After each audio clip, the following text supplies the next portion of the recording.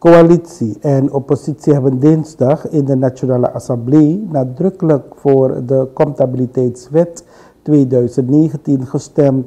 De leden zijn het allemaal over eens dat de nieuwe wet voor verbetering zal zorgen in de wijze waarop het beheer en toezicht op de staatsfinanciën plaatsvinden.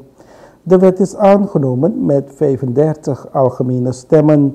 Met deze nieuwe regels wordt beoogd een wijze van financiële verslaggeving voor de gehele sector te bewerkstelligen volgens internationale standaarden, laat de minister van Financiën Gilmar Hoefdraad optekenen. De bewindsman voegt daarom toe dat ordening en transparantie zullen leiden tot efficiënte en fraudebestendigheid.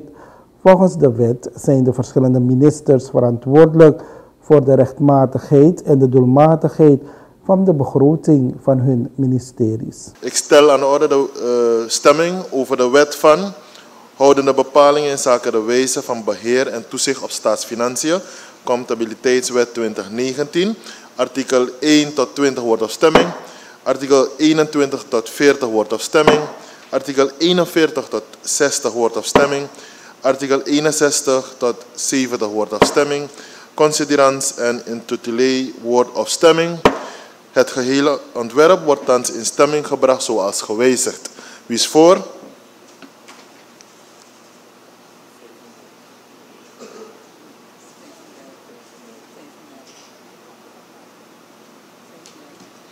Dankjewel. Wie is tegen? Ik denk dat iedereen is overtuigd, toch? Ja. Geen tegen. Dan wordt dan wordt de onderhavige wet, comptabiliteitswet, aangenomen met algemene 35 stemmen. Dat is geweldig, dat is meer dan uh, twee derde meerderheid. Dat wil zeggen een uitdrukkelijke, nadrukkelijke en duidelijke goedkeuring aan een wet die ons uh, wat meer inzicht, maar niet alleen inzicht, ook regels en procedures uh, geeft voor het beheer en de toezicht op staatsfinanciën. Ik feliciteer op de eerste plaats de initiatiefnemers. Um, en dan lees ik de leden Simons uh, Sang, die niet meer in ons midden is, in, vanuit dit huis, maar aan de andere zijde nu zit. Ook hem moeten we feliciteren en bedanken. En het lid Waterberg, die wel met ons is, uh, nog als lid, willen we feliciteren. En het bijzonder natuurlijk de de woordvoerder van de initiatiefnemer, de voorzitter van het parlement. Uh, Simons die met behoorlijke voortvarendheid in een korte tijd een aantal wetten op initiatief heeft voortgezet en heeft doorgekregen. Wij feliciteren ook en bedanken ook de bijdrage van de voorzitter en de leden van de commissie van rapporteurs, links en rechts. De harmonie was duidelijk, oppositie en coalitie die hebben getrokken en gewerkt aan de wetgeving. Ik feliciteer de minister van Financiën voor deze uh, belangrijke stap ook gezet in transparantie, dat traject dat ook al eerder is uitgezet. En de regering Suriname ook gefeliciteerd. We hebben een wet en ik zeg altijd, zeker vanuit de stoel, een wet is één, maar de beleving van de wet en de uitvoering van de wet is een uitdaging die we met z'n allen hebben. Het parlement blijft verantwoordelijk voor de controle en ik kan u garanderen dat wij die controlefunctie uh, zeker niet zullen verzaken, maar ernstig ter hand zullen nemen. Zaken moeten nog bij staatsbesluit worden geregeld. Dus daar zullen we de komende maanden en jaren zelf nog, wanneer we hier zijn en sommigen, misschien een aantal van ons terugkomen, hebben we een taak om dat verder te doen.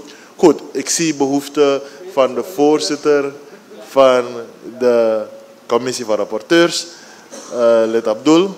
En daarna de initiatiefnemer, dacht ik zo. En dan de regering. Dan hebben we het gehad. Misschien iemand van die kant. Maar we beginnen met lid Abdul. Fractieleider NDP.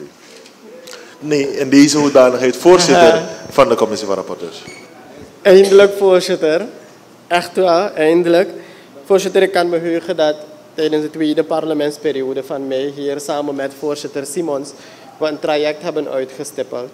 En we hebben heel vaak gesproken over transparantie, over verantwoording. En in dat traject hebben we voor onszelf voorgenomen een aantal wetten die wij zeker met andere leden van het parlement, met het parlement, met de regering hier zouden willen behandelen en goedkeuren, zodat de financiële sector eigenlijk volledig voorzitter hervormd wordt.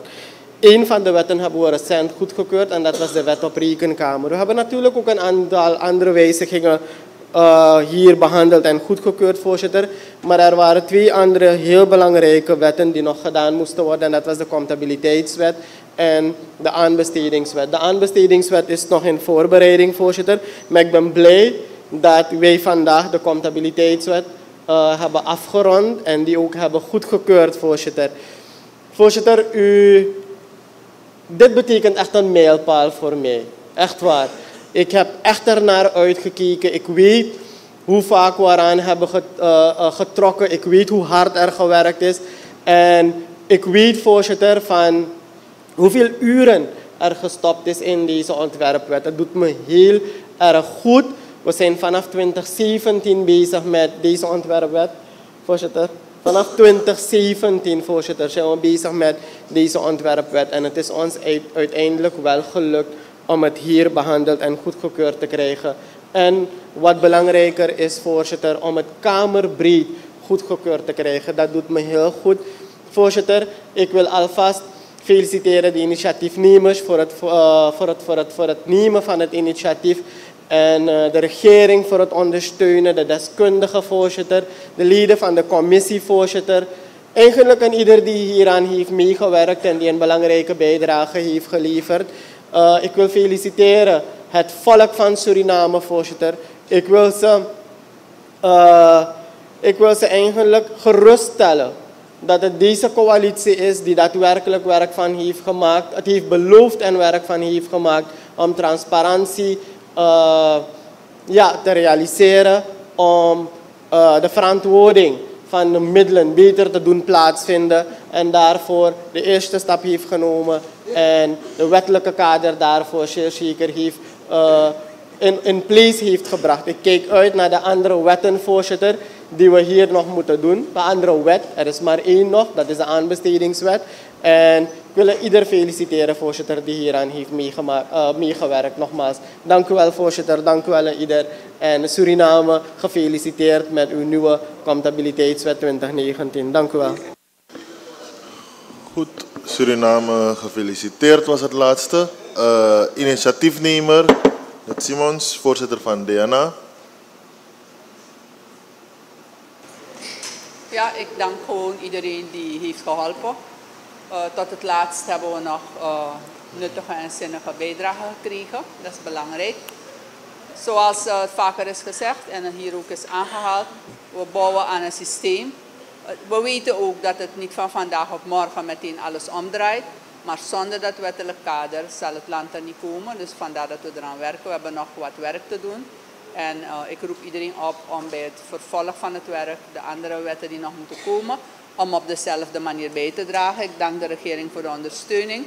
En uh, ik denk dat als we zo samenwerken, dat we voor het land uh, vooruitgang boeken. Ik dank ook heel specifiek de deskundigen van uh, DNA en de regering. Ik feliciteer iedereen.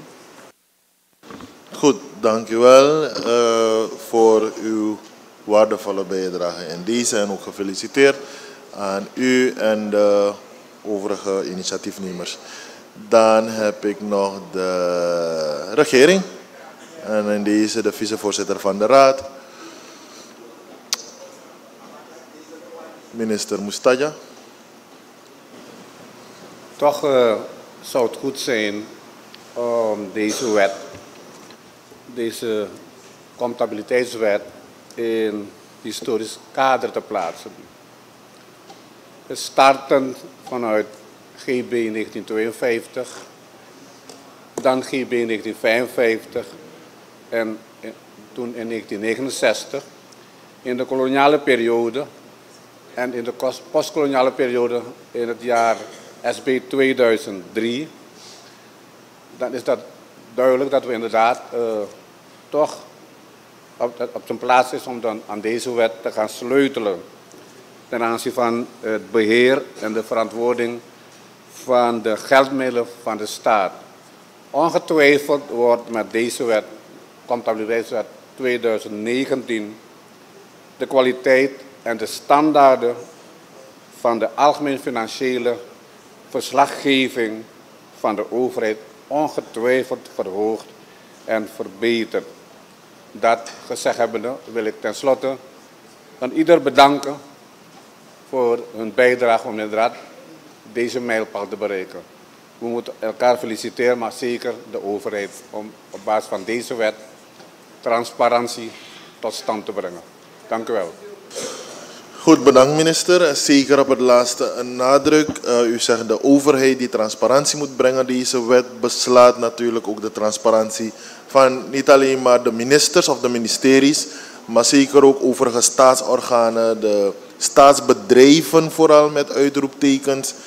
Waarvan we vinden dat er meer duidelijkheid en transparantie moet zijn.